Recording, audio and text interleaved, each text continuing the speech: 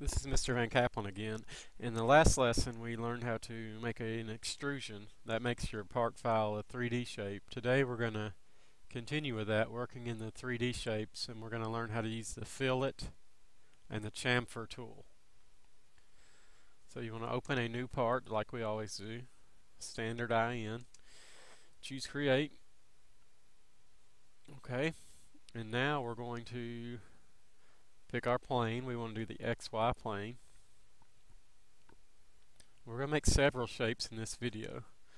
So for the first one, let's make a circle. Uh, anytime you're using a circle, a good idea is to start at the origin. Gives you a great starting point.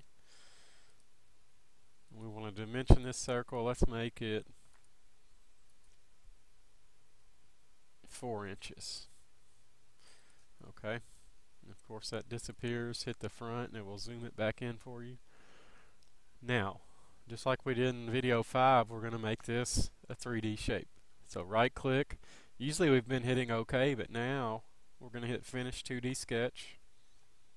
It's going to give you a different view. Okay, hit the Home button. And now we're going to extrude this shape. When you extrude, remember you click on the shape and it gives you that. And we can make it go several ways. We can make it go forwards backwards or symmetrical does comes out a half inch here half inch here. Let's extrude this 8 inches. It's going to be a tall cylinder. And let's go with direction 1 hit OK now you can't see it all. The quick fix hit the home button I'm going to go ahead and change the color. Whoops. Let's see.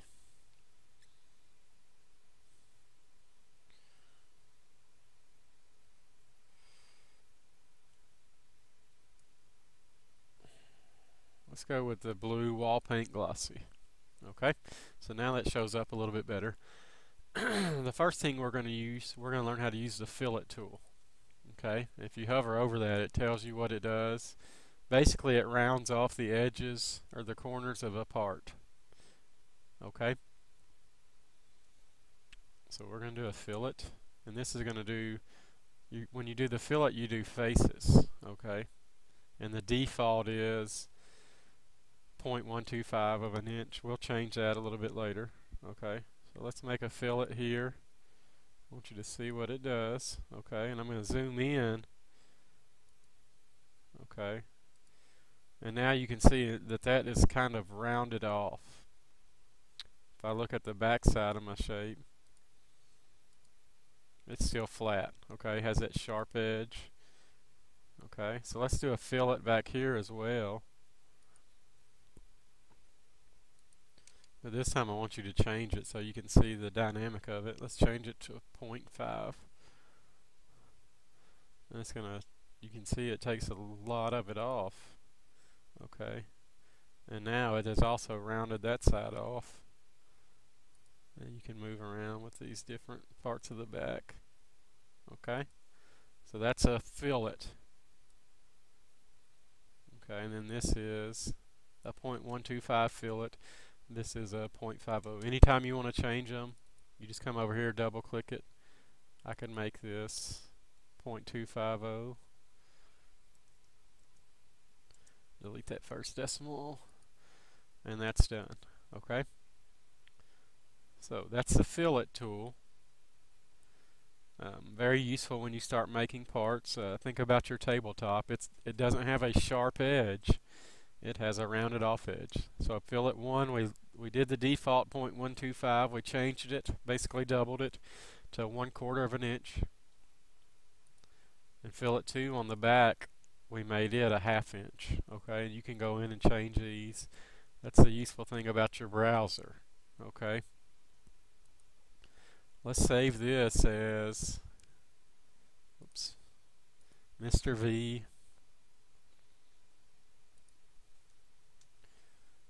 lesson 6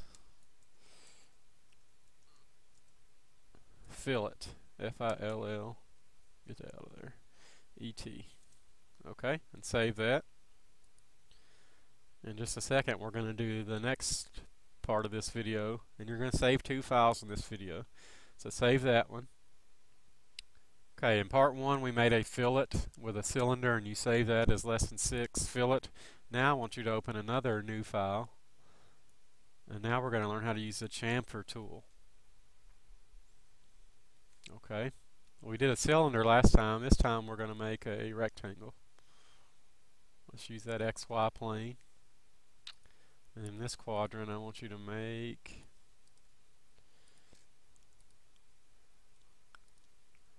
a 7. Oops, front. By 5 rectangle. Okay, we've got our rectangle. Let's right click, finish 2D sketch. We want to extrude it. This time let's extrude it and let's go distance 2. Let's go back. Let's make this 4 inches. Okay, so now we have a rectangular prism. And last time we did a fillet. This time we're going to do what's called a chamfer. Okay, a chamfer adds a beveled edge. Okay, and you can zoom in here and you can see how it's a little bit different okay? The default here is 0.125 inches okay and we can we can change that. You have these different angles. For what we're going to do we're going to leave it this as just a distance okay? So now we're just like we did earlier with the fillet tool the fillet lets you pick the whole face the chamfer lets you pick an edge okay so I'm going to do this edge this edge, this edge, and this edge, the top of our prism, 0.125. The sides we're going to do a different distance so you can see the difference in it. So hit apply, and then we're going to close that out. And you can see it hasn't put that beveled edge on there. It has a, an angle to it. Instead of rounding it off, it's got more of an angle to it. And I'm going to zoom in there. Um, one thing I didn't do Let's change the part. This gray always looks kind of boring to me. So let's give it some color. Let's go with a, a dark sea green. See how that looks. Okay, now I can zoom in. You see those edges. Okay, that was 0.125. We're going to change it now. Let's do a quarter of an inch, so 0.25. I want you to do that here. You can see it cuts a lot more. You know, we've doubled it from the top. Here, here, and then this is where your cube is really handy. You start moving it around. Here.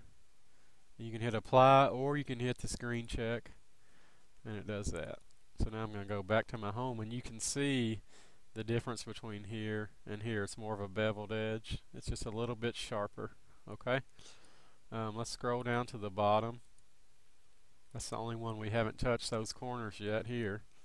And you can see that corner is angled off now. It's a 45 degree angle. Last thing I'm going to do is do a chamfer here. Let's make this one smaller. Let's make this point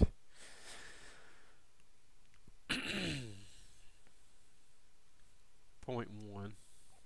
Okay, we're going to do it here, here, here, and here. And then hit apply. Okay. So now we've done the beveled edge everywhere on there. Okay.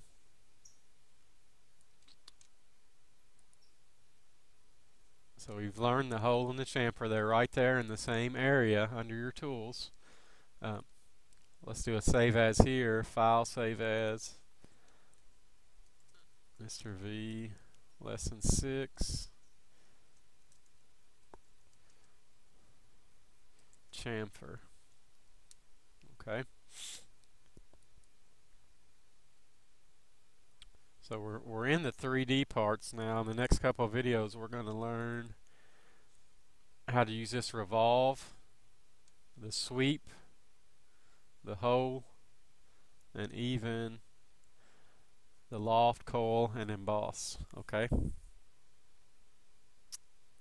So be looking forward to that. In The next video we'll use the revolve tool and then we'll look at holes and loft. Okay.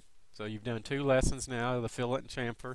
Um, that's going to be a good stopping point for lesson six. You have two separate part files. Make sure you save them like I did in the video. You save the cylinder separate from the rectangular prism.